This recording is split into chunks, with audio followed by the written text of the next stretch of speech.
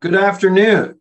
I'm Aaron Klein, a senior fellow in economic studies at the Brookings Institution, and it's my job on behalf of the Center of Market Regulation and Markets to welcome you to this interesting fireside chat that we're going to have here on the future of stablecoins.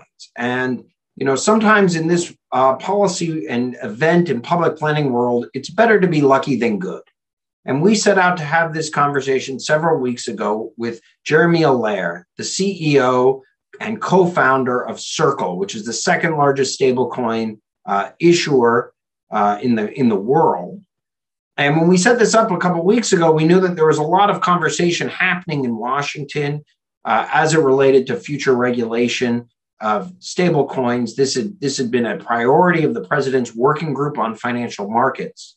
Uh, but we had no idea that yesterday, in fact, the PWG, as it's called, uh, which is the uh, Treasury Secretary, the chair of the Federal Reserve, the chair of the Securities and Exchange Commission, chair of the CFTC, and joined in this instance by the comptroller of the currency and the chair of the FDIC, would all issue a giant report focused solely on stablecoins just yesterday. And that is really the lead issue. And I want to delve right into this with Jeremy, uh, who, first of all, thank you very much for joining us. My pleasure. Thank you. I should note, in addition to co founding Circle in 2013, that was after you'd already taken uh, another company that you'd founded public on the NASDAQ exchange. You come as a veteran, not just of financial technology, but of building a business and, and an enterprise. Um, and you know, we'll get into what stablecoins are and why they've blown up and why they're attracting all this attention. But I want to delve right into the meat of the question here, which is that just yesterday, the president's working group on financial uh, markets issued a large report dedicated solely to stablecoins. And they had three main recommendations. And I'm going to ask you to respond to each of the three. Uh, and let me read them to you. Uh, first one, quote, to address risks to stablecoin users and guard against stablecoin runs, legislation should require stablecoin issuers to be insured depository institutions, which are subject to appropriate supervision and regulation at the depository institution and the holding company level. End quote. Do you agree with this? Do you think that stablecoin issuers should become, in essence, banks subject to bank like supervision and, and regulation? So we do, in fact. And in fact, multiple months ago, we announced that we were preparing to file an application with the OCC for a national commercial bank charter with Fed supervision and FDIC insurance. And specifically with the goal of establishing the first uh, national full reserve digital currency bank in the United States. Uh, and, and that remains our intention. And, and it's good that it's aligned with how the Fed and Treasury and others are thinking about this. And I, I think um, that that's my, my very quick answer. I think um, at, at, a high level, of course, and we can get into this in, in subsequent parts of the conversation, there are many types of stablecoins in the market today. Um, I think, in particular, which is I think the focus of this report, asset-backed, dollar-denominated, uh, aiming to be dollar payment system stablecoins, um, really belong at the federal level and really belong under that kind of banking and payment systems regulatory framework that we have. Now, clearly, and this is, I think, uh, one of the reasons why they've asked Congress uh, to, to become involved here is that there's a lot of novelty, uh, and maybe novelty is not the right word. There are a lot of significant differences in the way this technology for money works uh, from prior um, banking and payment system technologies. And so there's a lot to work through in terms of building the statutes that would provide the right set of tools uh, to the Fed or Treasury or others to actually supervise a national scale, if not international scale, stablecoin issuer such as Circle. So we're supportive of that recommendation. Uh, again, there's there's a, a, lot of, of devil in the details, obviously, uh, but behind that, and and, um, and and there's a lot of I think significant issues, uh, some of which are noted uh, in, in the report as well about um, you know what a, a full reserve dollar digital currency model like this uh, looks like what are the risks how does this interact with the public internet and related technology? So there's a, there's a lot there, but I think at a high level, uh, we, we do think that. And, and, and maybe just as a final comment on this topic, and, and I'm happy to drill into any detail, is you know when when we started this project um, and we uh, and we launched this over three years ago, you know we worked with banking regulators, payment system regulators uh, throughout the country to build a product that worked within the fintech laboratories of the United States, which today are at the state level. Uh, PayPal, Square, Apple Pay, uh, so many innovations that we take for granted in terms of digital money have really been in that fintech laboratory of state banking supervisors. And so we've had, I think, good regulators. We have a framework around money transmission technologies. Um, and I think that was really the appropriate uh, place to start. And that is how we're regulated today. But as these go from, you know, 30 billion to 100 billion to 500 billion in circulation support potentially tens of trillions of dollars of transaction value and become embedded in not just financial market activity, but deeper in the real economy and commerce, I think the stakes are a lot higher. And I think that's part of what you see in the report is a recognition that these technologies based on network effects, user bases, other things can grow really, really fast. Like other things, like messaging apps grew really fast, or or transportation systems like Uber grew really, really fast. And I think so. I think there's a recognition of you know this could happen really quickly. And and if if that did it could really have an impact on the financial system and the real world economy. And so let's get out ahead of that. And so i think in some ways we're seeing um, a desire to kind of upgrade from the fintech laboratories of the states to the federal level in a technology as fundamental as stablecoins. So so i think as i read the report uh, you could be a state chartered bank or a federally chartered bank and issue an IDI under the Treasury's proposed legislative framework. You could not be a credit union. So it's not really all insured depository institutions, it's really all banks and thrifts, because then your holding company would be regulated by the Federal Reserve, right. which would then be empowered to put in separations between banking and commerce, which get to the core of the second recommendation that I'd like you to respond to. So I have you down as yes, in agreement with recommendation number one uh, become a bank. Uh, two, this is the PWG report, and I quote To address concerns about payment system risk, in addition to the requirements for stablecoin issuers, legislation should require custodial wallet providers to be subject to appropriate federal oversight. Congress should also provide that the federal supervisor of a stablecoin issuer with the authority to require any entity that performs activities that are critical to the functioning of the stablecoin arrangement to meet appropriate risk management standards. End quote. Agree or disagree? I think there's components of that that I think may make sense, and I think there's components that are very problematic. And I, I think um, part of this really, um, you know, kind of connects to the, the nature of this technical innovation.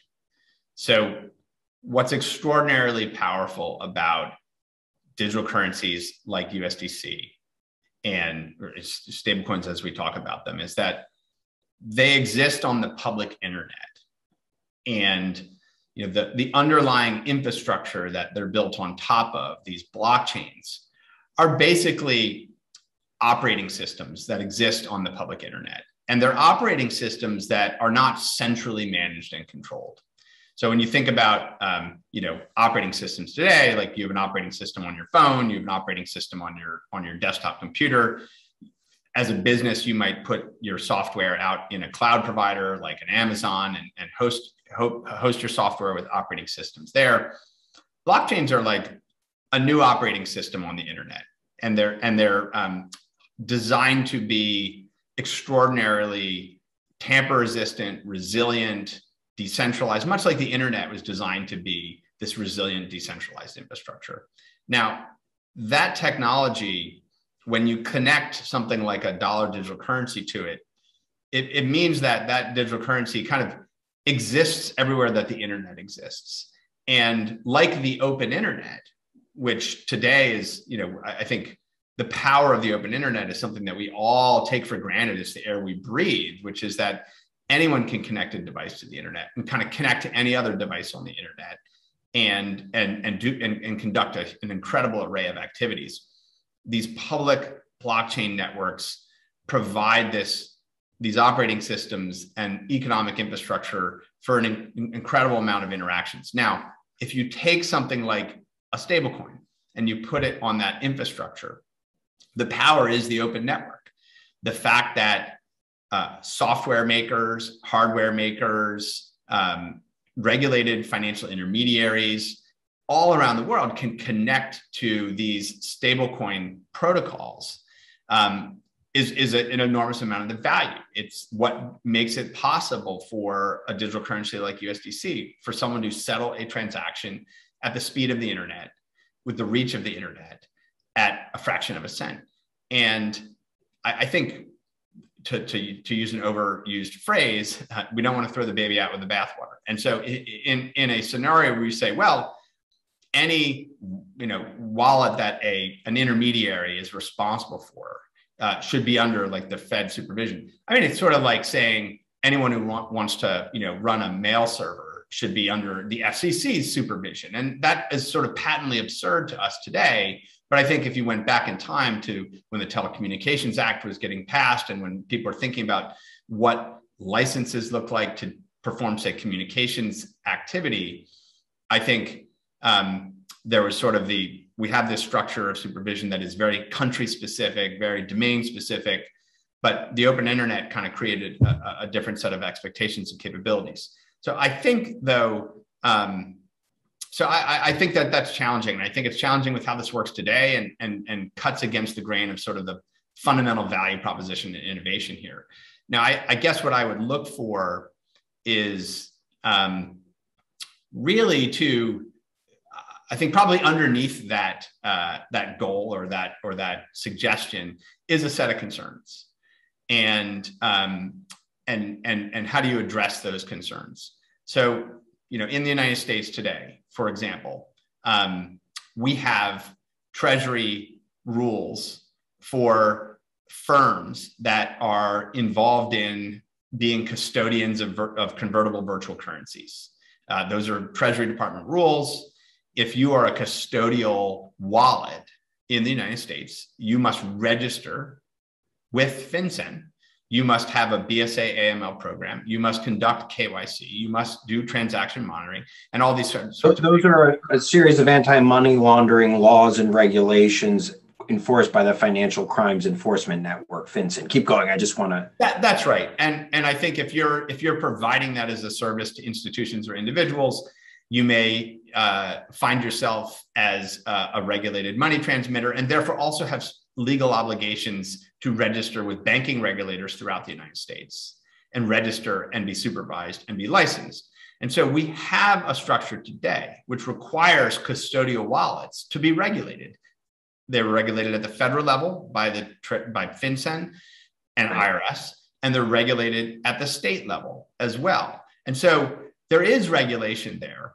I think, um, and and that's effective. Now, if what they're getting at is they're saying custodial wallets, you know, that there should be some national license for that that is separate from the money transmission statutes that we have today. That's a discussion to have.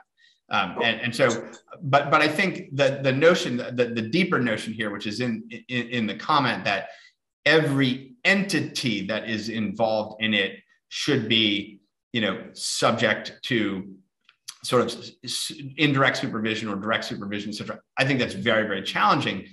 Um, that's like you know, sort of saying, you know, um, I'll give it. I'll give a real world example. Um, most uh, consumer banking today happens through mobile apps and through web applications on computers, and underneath that, uh, there's a lot of pieces of the ecosystem, right? There's internet service providers there's, uh, you know, th- there are companies that uh, run web hosting. There are companies that issue digital certificates for securing the websites. There are, you know, so many technology components to delivering that. But no one is suggesting that like the Fed should supervise ISPs because banking is delivered through through through internet software. And so I think the same thing here. We have to really figure out what are we really talking about here? Are we talking about financial intermediaries and their conduct, or are we talking about uh, pieces of the technology architecture? Let's let's drill into that because I think what they're saying is that essentially, to use your example, the federal regulators are empowered to look at third party vendor management. And the, the exact line that the PWG says to meet appropriate risk management standards. So it's not that the bank regulator goes into the web host yeah. or goes into the third party provider. Sure. But that if you're vending services to a bank that are critical to that bank's operation, then the regulator has the authority to make sure that you, as the, the, the critical intermediary provider, are meeting appropriate risk management standards. Your system isn't going to have an outage. Yeah, so I think I think conceptually that all makes sense, right? So we we we run, you know, fairly just as a company, right? Fairly significant enterprise risk management, information security management, and as a regulated firm, have various, you know, cyber uh, requirements and, and, so on. I think the tricky part here is, is is really the the fact that digital currencies like stablecoins run on the public internet, they depend on the public internet. They depend on public infrastructure that is not operated by any company. It's not mm. operated by any government, just like the internet itself is not operated by a country or a government. And it's the first time ever that fundamental economic and financial infrastructure is actually outsourced to the internet to decentralized infrastructure on the internet that's not something that you know the you know cpmi or, or pfmi standards you know these these international kind of um, standards for payment market infrastructure or other things have ever contemplated they've just never contemplated the fact that you could have um, you know, direct peer-to-peer value exchange over a public internet infrastructure. And and so I my own view is I think this is the, the ultimately right. We're, we're we're we're thinking about resilience, risk management, infrastructure security, reliability, and I think um, this is a process where banking regulators, in particular, um, and, and, and the standards, the enterprise risk standards that they expect, will need to come up with a, a, an approach to financial institutions that are interacting with these public networks. It's no different than saying I'm a bank that's going to provide a way for my customers to store and transmit Bitcoin. It's the exact same issue, right? Um, well, who runs the Bitcoin network? Well, a, a, decentralized network of miners run the Bitcoin network. Well, how do we supervise them? Well, you can't supervise them. Oh. So it's the same kind of issue. So, so let, me, let me say that because uh, Neha Narula, who's an expert on this at MIT and is integrally involved with some of the constructing that's occurring upon the Federal Reserve's potential to create a central bank digital currency, she wrote on a recent piece, quote, the blockchain itself might be at risk if a stable coin which runs on it becomes too big, especially compared to the monetary base of the blockchain's native token. Stablecoin providers can have influence on the blockchain's governance by only honoring the version of the stablecoin on one side of a blockchain fork, for example, even if it's not the side that most blockchain users prefer. Or a stablecoin issuer could choose to honor tokens on either side in different ways. She goes on to list other examples. Uh, you know, how would you respond to Neha's concern about this very blockchain nature that you raise as a reason why the regulatory structure proposed by the PWJ, PWG may be problematic? She's pointing out that that very structure creates opportunities for a stablecoin issuer to engage in a way that that that could require greater supervision and regulation. What would be your response to Neha? Yeah, I, I know Neha well. I've known her for a very long time and um, she, she's extraordinarily uh, bright and, and thoughtful. And I know she's she's obviously thinking about new kind of um, crypto money transaction architectures for the Fed as well. So um, I, I, think um, you, you know again coming back to uh, the the analogy, and I, I, actually think it's more than analogy. I think it's more almost factual that blockchains are like operating systems, and there's a lot of intense competition for these new internet operating systems, and and these new internet operating systems are usable for many many types of applications. A stablecoin is one application that you can build on one of these operating systems. There are games, there are social networks, there are other fiduciary applications, there are commerce applications, that there are digital intellectual property applications. There are so many different applications.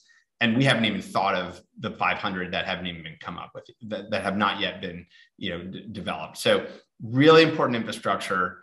Um, and and is, is a, the Web3 kind of concept, this new infrastructure layer of the, of the internet, is what we're building on. Now, we have chosen to take a multi-blockchain approach because there is this competition and my my sort of philosophy and our philosophy has been if you have a protocol for dollars on the internet like USDC that you want your digital dollars to be cross-platform it would be like saying you can only use your music on an apple device you want to be able to you know use your media or, or conduct your communications whether you're on a personal computer uh, on a web browser on a on an apple device on a Sony device, whatever that is. You want you want cross-platform. It's a concept that I think consumers intuitively understand today, and I think the same thing holds for digital money and for digital currency. And so, being multi-blockchain is essentially the, the, that kind of being multi-platform. Now, it may be, and I think it would be totally appropriate for you know when when a stablecoin becomes um, very large in terms of its role in economic activity to sort of say there's a whole series of requirements for what are um, deemed to be um, kind of acceptable public network infrastructures to run on top of. Uh, or if there are newer public infrastructures that emerge that are, are supported, that you've got very ro- robust risk management standards around issues that could occur, resolution, other things. So I think there's a lot of work to do. As I like to say, you know, there's no OCC exam manual for running a digital currency on a blockchain in a bank. Well, there's going to have to be. We're going to have to come up with that exam manual. We're going to have to come up with how, how to deal with those scenarios.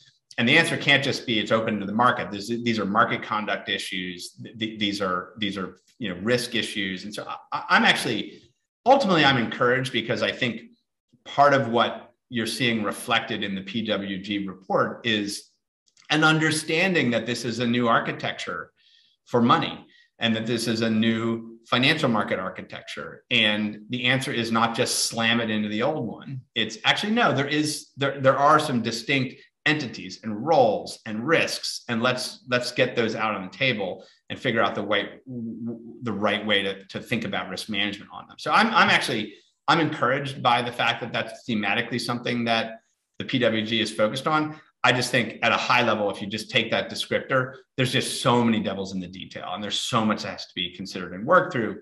But I think constructive engagement at an industry level uh, and an ecosystem level can kind of ultimately lead to, to good outcomes on that. So let's drill down because you really do tease into the third of the three uh, PWG recommendations, which I'll, I'll quote. To address additional concerns about systemic risk and concentration of economic power, legislation should require stablecoin issuers to comply with activities restrictions that limit affiliations with commercial entities. Supervisors should have authority to implement standards to promote interoperability among stablecoins. In addition, Congress may wish to consider other standards for custodial wallet providers such as limitations on affiliation with commercial entities or on user use of users' transaction data. End quote. So as I read that, there are three recommendations. One, enforce the separation of banking and commerce on stablecoin issuers who now have fallen under the banking side of the banking and commerce ledger. Right? right? One of the core problems, as you point out, is the US defines banking and commerce payments is not part of the bank definition legally right. in the US. Right. The, but because banks have dominated payments for so long, it's just simply been assumed, and as fintech unbundles yes. payments, they have been shown to be part of the commercial side of the ledger. So, one, separating banking and commerce, in which Circle would find itself on the bank side. Two, um, uh, the authority to implement standards to promote interoperability among stablecoins. I think I heard you say yes to that. Yeah, and I, 3 I, I address. Yeah, yeah. Okay, hold on. And then three, standards for custodial wallet providers, including their affiliation with commercial entities and data usage on consumers. So these are kind of three recommendations in the third. Please go re- respond to each of them. Yeah. So if you if you kind of uh, peek beneath the surface on that, clearly components of this are very specifically directed at the company formerly known as Facebook um, and and and very very clearly directed at that. And I'm sure the the angst and the anxiety that exists with a supranational scale internet entity uh, kind of usurping uh, the fundamental financial market or payment infrastructure. That that's obviously provoked a lot of uh, of, concern um, in, in in the market. And so I I think pieces of that are are are, are aimed at that. Um, you know, I, I guess um, if, if, you kind of break those down, I think the if you accept that um, the the issuance and the kind of administration and operation of a of a of a dollar stablecoin uh, is a banking activity, as we do accept, then being on that side of the ledger, as you say, and the separation of commerce from that, I think that makes sense.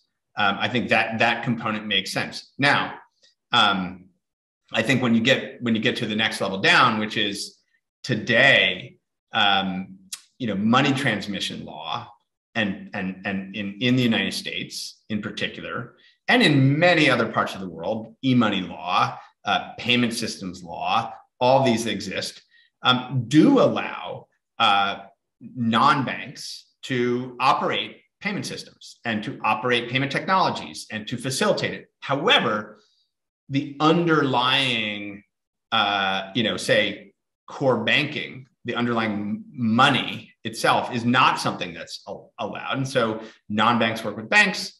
Um, and and you know circle's an example of that today we work with banks to access the fedwire system uh, and, and, other things right so i think that um, that clearly, and that's where I'd sort of say custodial wallet providers. Like if I'm running a, a payment application and I'm from a technology, if I'm Google and I run Google Pay and that's a payment application and it's a wallet, or I'm Robinhood and I have a wallet, or I'm Coinbase and I have a wallet, or I'm PayPal and I have a wallet, um, those firms should be able to have wallets and operate services that include payment services as part of that.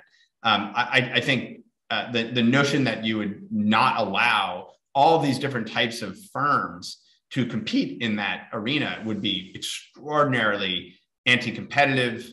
I think it would be extraordinarily poor for actual outcomes for society and individuals and others. And so I, I, I, I don't think that's what's intended. But if you read it really, really closely, you'd say, no, no, actually, you know, you you you can't be in those businesses necessarily. So that would be like an enormous about face in the face of what has been an extraordinary amount of fintech innovation in the United States. So I, I think again, devil's in the details. When when you what are we getting at with this kind of custodial wallet separation of activities thing?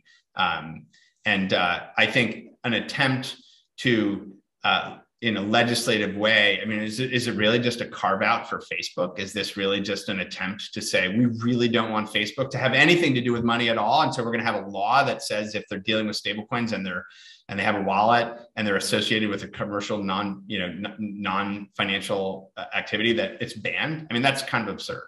Um, and and so again i think there's like go beneath the surface. What are you really getting out there um, to, to to to to define that one possibility is that they're laying groundwork for the adoption of a Federal Reserve digital currency, and then but don't want to go the following step of allowing people direct access to Federal Reserve accounts, which has been proposed uh, by Morgan Ricks, Lev Menand, some academics. Bills on the Hill. There's a lot of energy around Fed accounts, and so they want the wallet intermediary to be a banking subsidiary to avoid having the central bank provide its own Fed account as it links to its own central bank digital currency. This is somewhat speculative. Uh, I don't want to get meta in my analysis to use a bad pun and build off of your point. Um, you know, eh, to build off of an earlier point you made about the speed of this, you know, I've done some research on China's payment system. Mm-hmm. And they leapfrogged our silly cards and swipe fees yeah. and all the rest, and just went straight to QR codes yeah. run by Ali and uh, Alipay and WeChat, Chinese Facebook and Chinese Amazon, and which were way more efficient and faster than the very Fedwire you mentioned. Sure. Um, and frankly, gave great benefits to their consumers. And then the Chinese government is now clawing them yeah. back systemically and introducing a central bank digital currency uh, you know, what what's your view on on, on all on on all of that? On yeah. the CBDC, on this digital wallet question. Sure. What would happen if they took their own regulation and applied it to credit cards and Fed accounts and Visa and all this stuff as you're kind of pointing yeah. out? I mean, look, there's a lot on this topic, and and and and we should probably spend a few minutes on it. I think, um, you know, f- first, I think it's worth noting, laddering off of what you shared about China, which is um, you, are absolutely correct. The, the, the attempt or the, the explicit activity of creating an ECNY, um, which is not electronic Chinese yuan. Yes, ECNY. electronic Chinese yuan, right, is a direct response to the very significant large scale market power that exists, private market power that exists in payment systems in China. That is, is a direct response, and the desire for there to be a third way uh, a defined public uh, public option, so to speak. Um, and, uh, and, and I think also very much tied into a, a re-centralization of power under an authoritarian regime that seeks to have omniscience uh, and control and to extract value away from the private sector back to the public sector. And we can all talk about that across not just the financial system, other, other areas as well what I find incredibly not just well disconcerting, frankly, is the the degree to which policymakers in the West are enamored with what China is doing. And there's almost a, um, you know, how, how do we uh, out China China? How do we, how do we, how do we out China China? And I think it's very dangerous in my view. A, a, a what, what may seem fashionable, which is to nationalize infrastructure, put it under government administration and control and government development, and, and push to the side the private sector, I think is extraordinarily dangerous for the West. And it is trying to out China China. And I think it's very problematic. I think what's interesting about the, the advance of electronic money in the world is that the advance of electronic money in the world has overwhelmingly been through private sector innovation, through consortiums of private sector actors building new form factors, you know, new, new technological form factors, um, and building standards and interoperability and driving that at scale, whether it's the international wire messaging system, the advent of, of mag stripes and card readers, and, and eventually the ledger systems that supported what we think of as the first real scaled form of electronic money to, to more common advancements that we know of today, like PayPal and Apple Pay and things like that. And this is around the world. And the private sector has played an enormous role, not only in payment system innovation, it's played this incredibly enormous role in the issuance of, of money itself, right? The, the, the vast majority of electronic money we deal with today is privately issued money. It's not public money, it's privately issued money, regulated privately issued money. Um, but I think where I'm going with this is simply to say there's a set of, I think, ideals, which I think are actually enshrined in the internet itself. Ideals of openness, of free competition, of open intellectual property, uh, of decentralization as, as, a, as a value, something that, that is, pushes power and, and, and, and, and creativity and other things out uh, further. Those are values, and, and those are values in the internet. And I think Western liberal, market, democratic, and, and, and similar ideals have have actually given rise to a, an incredible amount, not just in market economies, but also in, in, in what the internet is for us today. And I actually look at technologies like stablecoins and public blockchains and the smart contracts and all the stuff that's happening there as incredible and beautiful examples of what happens when you embrace that set of values uh, of, of openness, of, of open intellectual property, of decentralization, and, and of private sector innovation. And I don't think we want to miss out on that because that's happening at a really fast pace. It's happening at an incredibly fast pace. And I think the importance of the PWG report is it's it's acknowledging that what's happening on the open internet and what's happening in the private sector is growing really fast and it's going to get even bigger. And it is something that needs to be regulated. Um, but uh, I, I, think you know I also like to point out is people sort of say we're behind China on this. Actually, it's absolutely absolutely the opposite. We are way ahead of China. China's got a beta test of a government controlled thing that's had tens of millions of RMB, uh, tens of billions of RMB of transactions. I think there's like five trillion dollars of stablecoin dollar dollar U.S. dollar stablecoin transactions, and it's growing like crazy, and tons of companies are connecting to it. And so we're actually winning. The West is winning the digital currency space race right now.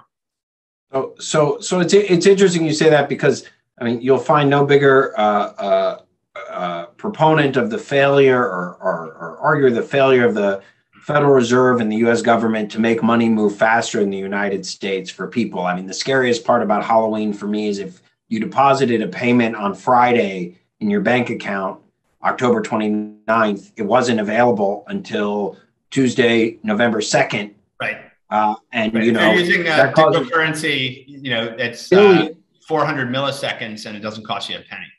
That's right. Right. Instead, it costs billions of dollars in $35 overdraft fees, in check cashing fees. 70%, my research has shown 70% of check casher yeah. customers have bank accounts in the US because the bank US banking system fails to yeah. work for them. And decades of Federal Reserve studying of faster payments has led to very little uh, benefit as the very banks the Federal Reserve and the OCC regulates make tens of billions of dollars in fees off of that same product. And there's a very real tension sure. between the central bank as a payment operator and a payment regulator and a bank regulator. But I can't let you off the hook, Jeremy, because you talk about all these great innovations, and, and I, I see a lot of that point.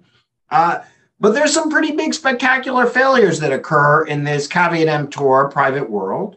Totally. Uh, you know, the, the largest stablecoin issuer Tether has recently had a $1 million bounty placed on it by a private short seller saying, Show us your assets that back this coin. I know you guys have put out uh, statements written by uh, uh, in response to that, and then people have quibbled with your statements, your definition of commercial paper, how fully dollar denominated backed you are you know, I don't know if you want to discuss the million dollar bounty on Tether, or if you want to answer a question that says something to the effect of if every stablecoin issuer had to reveal where their money was, are you confident that every single one of them on a platform today would be fully dollar reserved?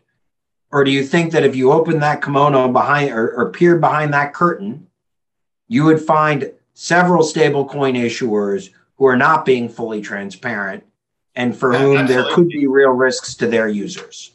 Absolutely. I mean, look, I mean, there's a, there's a reason why USDC is regulated and supervised by banking regulators under the same laws that supervise the balances you hold at PayPal or with Apple or with Square, which is a full reserve, one for one redeemability with consumer protection laws that protect you from insolvency that specifically supervise on compliance, anti money laundering, information security standards, all these things.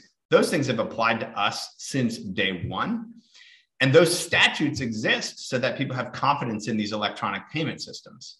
And I think that's really important. There are absolutely other stablecoin issuers who ignore that entirely and who we don't know the answer. Um, and, and so I think what it speaks to is in the United States for firms that are domiciled in the United States that are operating in the stablecoin space. we're all under these regulations, and we've been under those uh, since day one.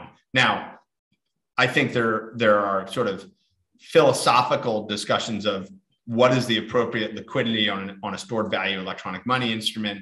Is it cash and cash equivalents, or or is it something outside of that? The regulators in the United States who, who supervise all of the major fintechs out there have differing definitions of, of what is permissible for those underlying dollar denominated assets that, that are that need to be liquid for users for these payment systems. There are different definitions.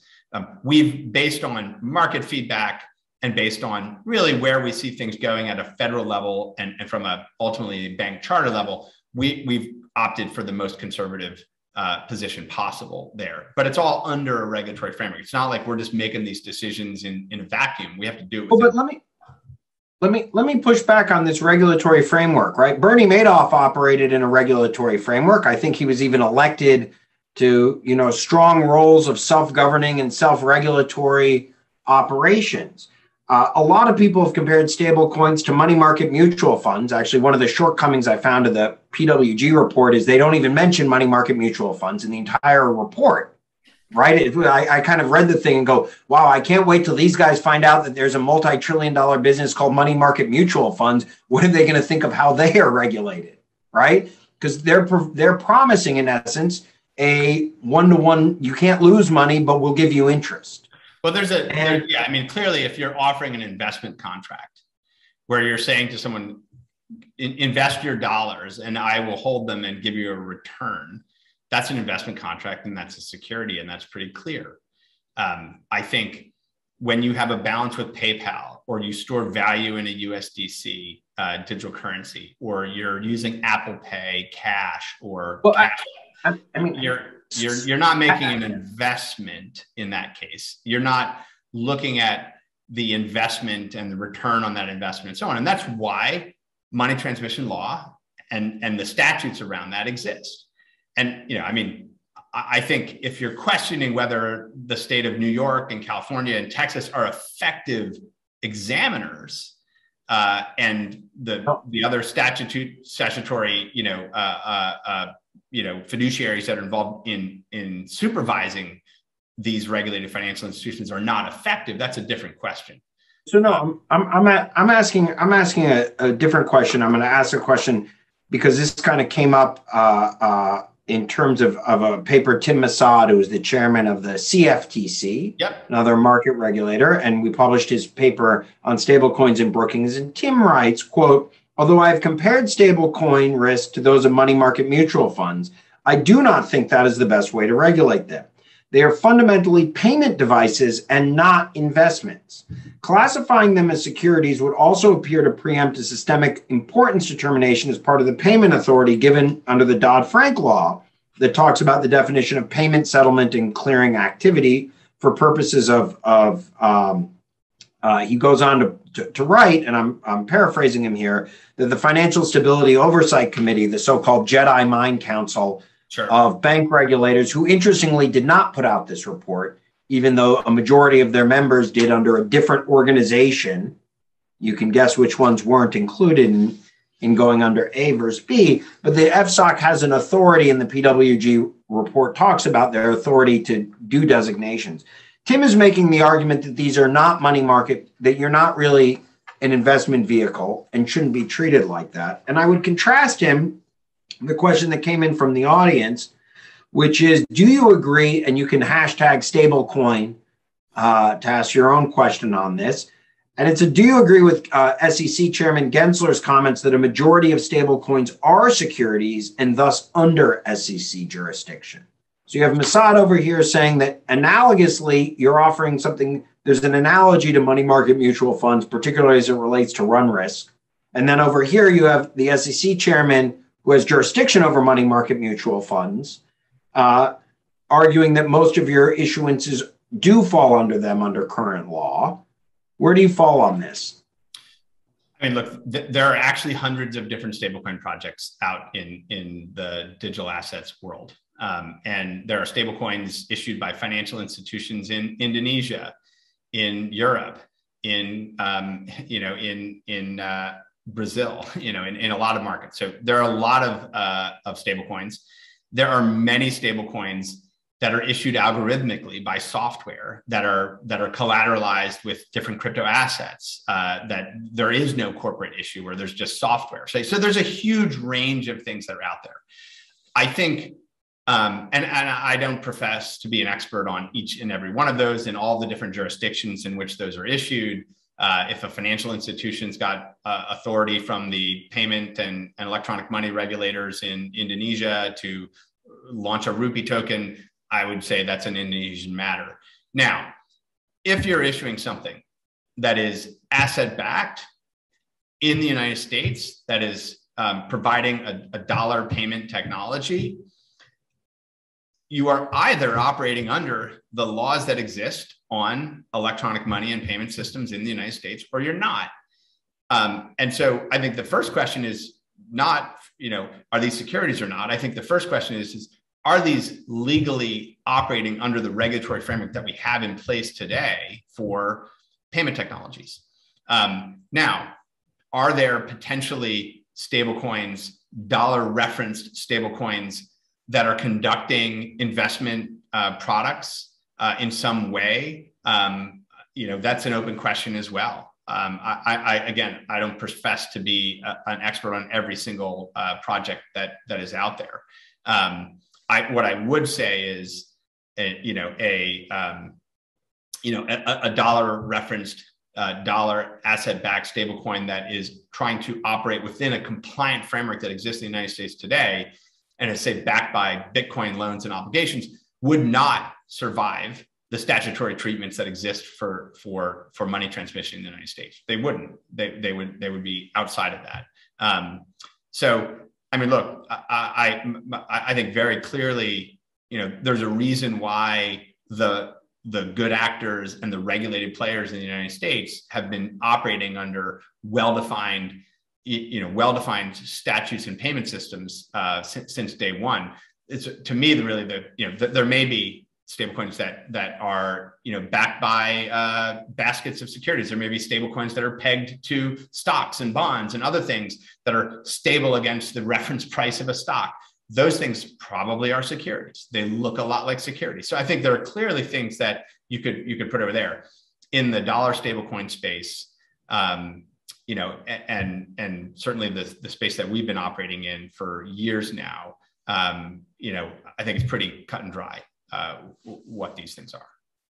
So, so let's talk a little bit more about stable coins because we only have a little over 10 minutes left. Talk a little bit about what your company is doing and talk a little bit about some of the innovation and, and, and potential that you have to be more inclusive. I kind of, you know, note that money market mutual funds who pose a lot of the same run risk that the PWG report is so hyper conscious of have been bailed out in each of the last two recessions by the Federal Reserve.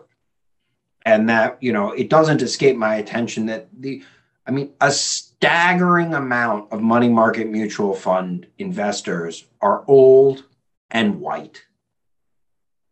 And they get bailed out repeatedly hmm. in crises.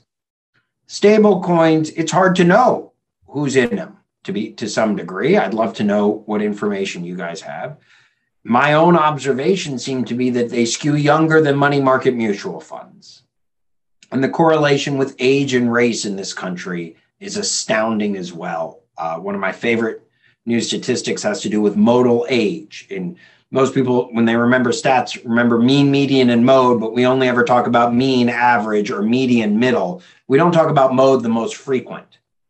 But if you put all white people in America in a room and you lined up by age and birth year, there'd be more people under the queue of 57 years old than any other age. If you did the same for African Americans, it would be 27. If you did the same for Latinos, it would be 11. Younger people are far browner than older people. And if you believe younger people are more into cryptocurrency, trading assets, have Coinbase accounts or other digital wallets are dealing in Bitcoin, Ethereum, uh, Tether, Circle, whatever, uh, which is certainly my belief. And there's some there's some data to support that, although data is difficult to come by in this space. Um, you can't help but notice that this is a younger crowd, inherently more racially diverse. Uh, talk a little bit about how that is and talk about, you know, what would just, you know, what uh, lessons, if any, have regulators learned from their decision repeatedly to bail out money market mutual funds in the form of a crisis or a run? And what might happen, you know, if there were a crisis in the run in stablecoins? Would money market would regulators treat them the same as money market mutual funds? Uh, uh, and and so talk a little bit about that, and you know, take a moment. I realize we've delved straight into the policy as a bit of a policy nerd and wonk. I haven't given you a moment to breathe and talk a little bit about the company and sure. who you guys are reaching and what you're doing. So it's it's a little bit of a grab bag to respond to here towards the end, but there's some. Yeah, no, I, I, appreciate that, Aaron. I, I, you know, I, I would start, you know, with a, a, a couple of kind of high level thoughts on this. I'm gonna, I'll, I'll separate out the, the, the bailout question for for a moment, um, and because I do think it kind of connects back to the earlier discussion uh, very very clearly. But um, you know, I think our view, and and really you know, I, I, helped found this uh, over eight years ago. And I think the insight that we had when we were starting this was that, um, you know, this new technology of, of, of, cryptographic money and of these public internet, you know, transaction and, and, and, and, other networks, these blockchain networks, we had the insight that those could over time, once they became um, scalable enough, meaning they could handle a lot more transactions, and once they became what I call extensible, meaning like you could uh, not just have a Bitcoin, but you could have other referenceable assets and you could write code that, you know, automated transactions around them, smart contracts, things like this, that that would give uh, give way to and and and ultimately get to a, a point where we could have protocols for money on the internet, just like we have protocols for information and communications and data on the internet.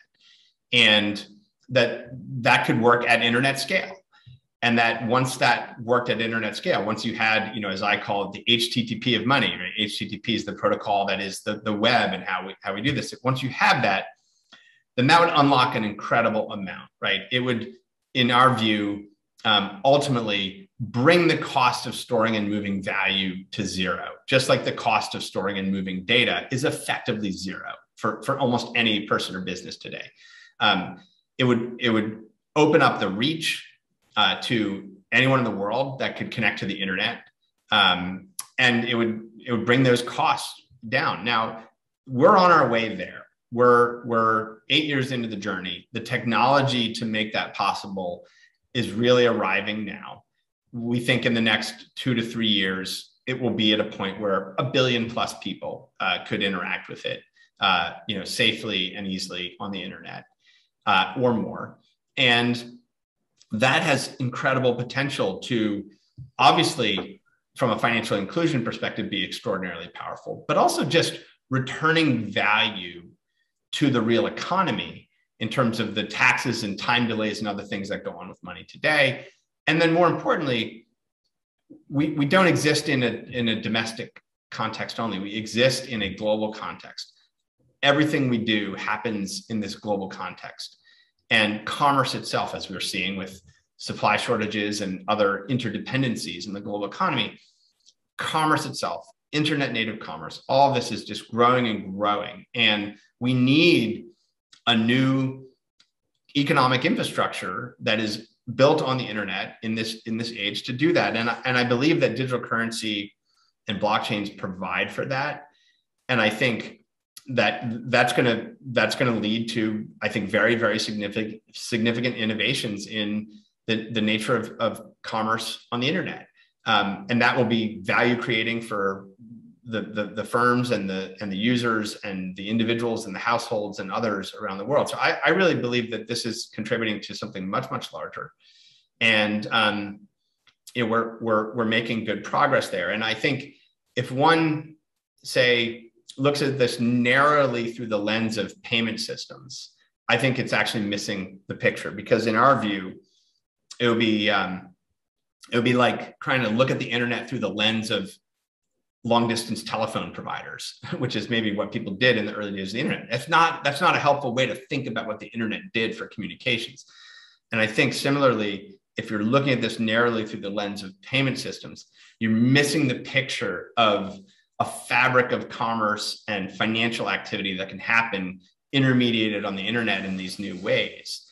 So I, I think um, that's what I think is at stake. I, and, and, and actually just coming back to the policy side for a moment, um, I think this is like fundamental national economic competitiveness stuff.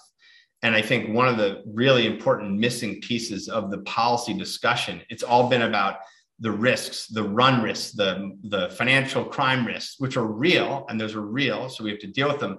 But we've got other risks, which are economic competitiveness risks, national security risks. And national security and economic competitiveness are kind of two sides of the same coin in some respects. And how does the United States ensure that the dollar and, and, and dollar digital currency and the economic infrastructure of blockchains, which are a profound innovation, how does it ensure that, that the United States is leading and advancing that? Because that's in the interest of the country and that's in the interest of, of, of, of the households and firms within the country. And so I, I feel like there's there, we, we need to really start to shape the, the debate a little bit to how do we take advantage of all this infrastructure that's happening and support it and build on it and make the United States a champion for this advancement. Um, and, um, and, and so there's just there's more work to do, you know, to, to, to educate on all of that. There's a huge mistake policymakers are making, right? Millions of children went hungry when the COVID economy shut down. Congress responded radically quickly by authorizing initial stimulus payments by the end of March. They Congress passed a law putting 1500 bucks out there before the unemployment numbers were even released. There are a bunch of people that want automatic policy and just let the stabilizers work. Right. And they don't realize Congress authorized the money before even the data were available, right? Because common sense showed you that March 31 was nothing like March 1. Right. And their children starving. Yeah. And guess how long it took those that money in a pandemic emergency to reach people? Right? Nobody yeah. got money before April 15th. Yeah, it's awful. Yeah. Millions of people didn't get their money till September. Yeah. Right? So this isn't just about economic competitiveness. Now, how many policymakers' children went hungry? Right. How many people, you know, watching this webcasts, children went hungry? We just assumed the money was coming. To this day, the child tax credit, one out of eight families is waiting on a paper check. Yeah. This is the single biggest way to alleviate child poverty in America. And the US Treasury Department is sending paper checks yeah. in the mail. Well, you know, years I agree with you. Experience. Wholeheartedly agree with you. And this is clearly a public private sector opportunity, right? uh, not just a public sector opportunity. It's a it's an opportunity, you know, for, for, for, for advancement in the private sector in support of these public policy objectives. But but I wish I wish the federal government, I wish the U.S. Treasury Department would contract with anybody that wasn't the Federal Reserve because the Fed can't get you their money any faster. Right. Right. There are all these ways to get the money faster. Yeah. Right. But we don't. We refuse to. It isn't a public private. It's a. It's a. It's a public public public. Right. And so you know and listen i'm all for a public system. If we could have built a better system and had a better system the uk is a better system. Singapore got their money out the same afternoon in an hour right? It's not as if this technology doesn't exist or that only the private sector knows how to implement real-time payments. To the yeah, contrary. Yeah. So so jeremy we're coming up to the very very last minute so last question in closing i want to ask you because you've had you know look i have to give my hat off to you. Eight years ago you came up with this idea and you founded this company and i don't think anybody would have credibly thought that eight years later uh, there'd be the president's working group on financial markets dedicating a report to the issuance of stable coins and and and and all of this. Give me eight years in the future. You know what what is going to be the real change if this system is well regulated and allowed to advance. So get you know because uh, uh, you can you can see a mistake in either direction you've laid out. It can be overly regulated, it can be underly regulated. Yeah, yeah.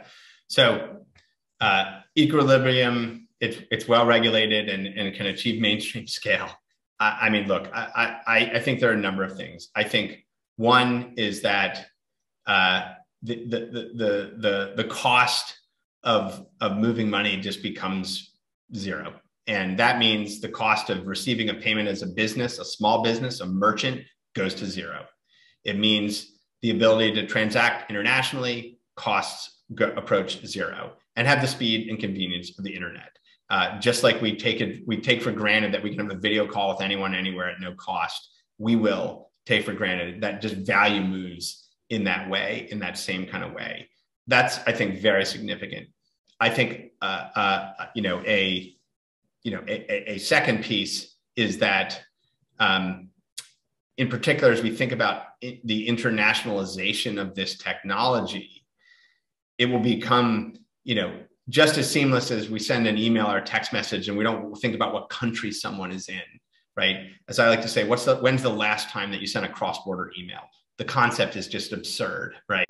Will be an anachronism and and and and will will seem silly, right? It'll be like, well, it's just the internet, right? Um, so I think things like that will occur.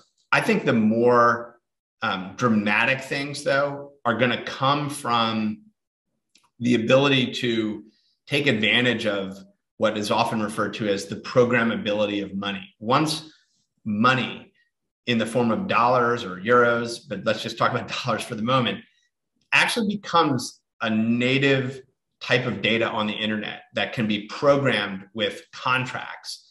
And those contracts can be executed and enforced by machines on the internet, AKA smart contracts. Once you develop that at scale, I believe it can lead to very significant transformations in what we think of as capital markets activity, in access to uh, credit, in the, the provisioning of, of lending uh, on a global basis. I think that that will lead to not just more efficiencies and, and a lower cost, but it will lead to more access to these types of financial services for firms and households all around the world. And so I think there's deeper things that can happen with the nature of capital markets and, and, and, and what is what we think of as commercial banking and things like that today can shift into this and, and bring the kind of internet scale unit economic benefits and access benefits that we've seen in so many other industries. You can bring that into finance. And so I think we can see strong, strong progress towards those in the next eight years.